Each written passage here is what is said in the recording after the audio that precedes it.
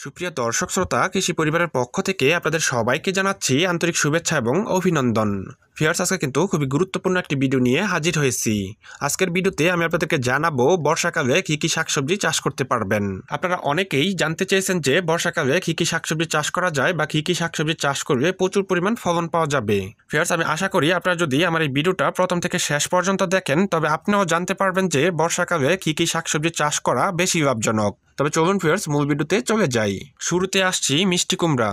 বর্ষাকালে কিন্তু মিষ্টি কুমড়া চাষ করা খুবই লাভজনক। মিষ্টি কুমড়া সাধারণত বর্ষাকালে কিন্তু বেশি চাষ করা হয়। বিশেষ করে মিষ্টি কুমড়ার কিছু হাইব্রিড জাত রয়েছে, সেগুলো যত দ্রুত সম্ভব আপনারা লাগিয়ে দিতে পারেন।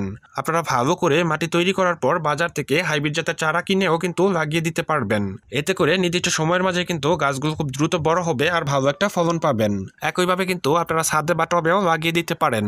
ফিয়ার্স বর্ষাকালে চাল কুমড়া চাষ করাও কিন্তু খুবই লাভজনক। যারা এখনও চাল কুমড়া গাছ লাগিয়ে দেননি, তারা কিন্তু খুব দ্রুত চাল কুমড়ার বীজ লাগিয়ে দিতে পারেন।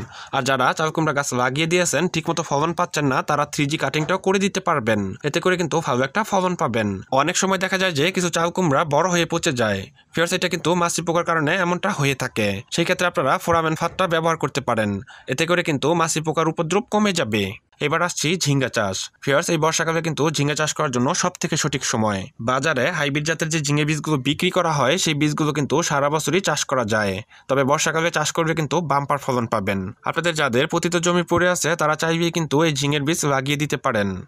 এবার রয়েছে ভরবটি চাষ। ফিয়ার্স বর্ষাকালে যে সকল শাকসবজি চাষ করে ভালো ফলন পাওয়া যায়, তাদের মাঝে অন্যতম হচ্ছে ভরবটি।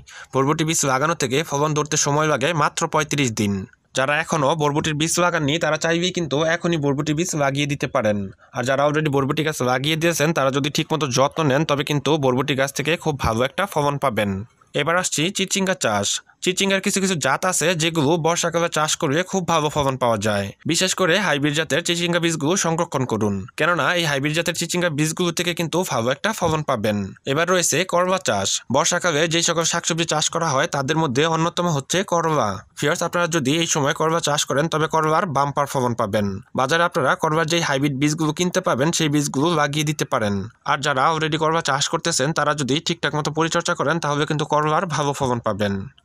এবার আসছি শশা চাষ। যারা শশা চাষ করার জন্য পরিকল্পনা করতেছেন, তারা আর দেরি না করে এখনই শশার বীজগুলো লাগিয়ে দেন। দেখবেন কত দ্রুত শশা গাছগুলো বড় হয়ে যাবে, আর সেই সাথে সাথে কিন্তু প্রচুর পরিমাণ শশা ধরবে। ফিয়ার্স আপনারা চাইলে কিন্তু বর্ষাকালে বেগুনও চাষ করতে পারবেন। যারা বেগুন চাষ করতে চান, তারা অবশ্যই কিন্তু এই বর্ষাকালে হাইব্রিড জাতের বেগুন গাছ লাগিয়ে দিতে পারেন। বাজারে আপনারা হাইব্রিড জাতের চারাগুলো কিনতে পাবেন, সেই চারাগুলো ভালো করে জমি তৈরি করে নির্দিষ্ট দূরত্বে লাগিয়ে দিতে পারেন। দেখবেন নির্দিষ্ট একটা সময়ের মাঝে কিন্তু বেগুনের ভালো একটা ফলন চলে আসবে, আর বেগুনের সাইজগুলো হবে অনেক বড়।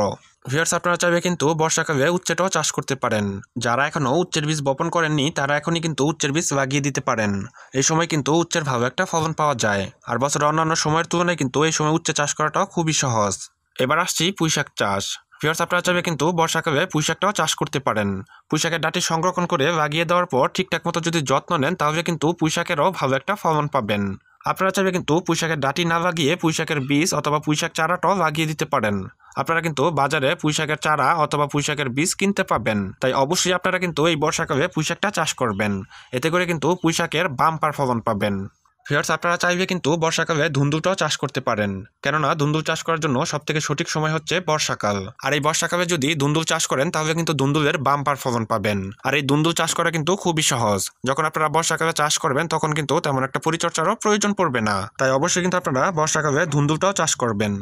ফিয়ার্স আপনারা চাইবে কিন্তু বর্ষাকালে লাউও চাষ করতে পারেন। বর্ষাকালে যদি লাউ বীজ লাগিয়ে দেন, তবে কিন্তু পানি দেওয়ার দরকার পড়বে না। তাই অবশ্যই আপনারা লাউটাও চাষ করবেন। লাউ চাষ করার জন্য আপনারা ভালো জাতের বীজ লাগিয়ে দিতে পারেন, অথবা আপনারা চাইলে বাজার থেকে হাইব্রিড জাতের লাউ চারা ক্রয় করে নিয়েও লাগিয়ে দিতে পারবেন। ফিয়ার্স আপনারা চাইবে কিন্তু এই শাকসবজিগুলো বর্ষাকালে চাষ করতে পারবেন। তাছাড়াও আরও অনেক শাকসবজি আছে, সেগুলো কিন্তু আপনারা চাইলে বর্ষাকালে চাষ করতে পারবেন। তার মধ্যে উল্লেখযোগ্য হচ্ছে মরিচ, পটল, কাকরল, সিম লাল শাক বাটি শাক ডাটা শাক ফিয়ার্স এই শাকসবজিগুলো কিন্তু আপনারা বর্ষাকালে চাষ করতে পারবেন? ফিয়ার্স আমি আশা করি আপনাদেরকে বোঝাতে পেরেছি যে বর্ষাকালে কি কি শাকসবজি চাষ করবেন।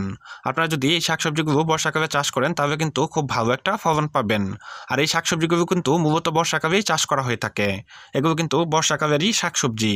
ফিয়ার্স আপনারা চাইবে কিন্তু আমাদের ফেসবুক পেজেও যুক্ত হয়ে যেতে পারেন। আর ভিডিও সম্পর্কে যদি আপনাদের কোনো মতামত জানার থাকে, তাহলে অবশ্যই কমেন্ট বক্সে কমেন্ট করবেন। আমার এই ভিডিওটা যদি আপনাদের কাছে ভালো লেগে থাকে, তাহলে অবশ্যই লাইক কমেন্ট এবং শেয়ার করবেন। আর নতুন নতুন, সুন্দর সুন্দর কৃষিভিত্তিক ভিডিও পাওয়ার জন্য অবশ্যই আমাদের সাথেই থাকবেন। সবাই ভালো থাকবেন, সুস্থ থাকবেন। এই কামনা করে আজকের মতো বিদায় নিচ্ছি। দেখা হয়ে যাবে আগামী কোনো নতুন ভিডিওতে। আসসালামু আলাইকুম।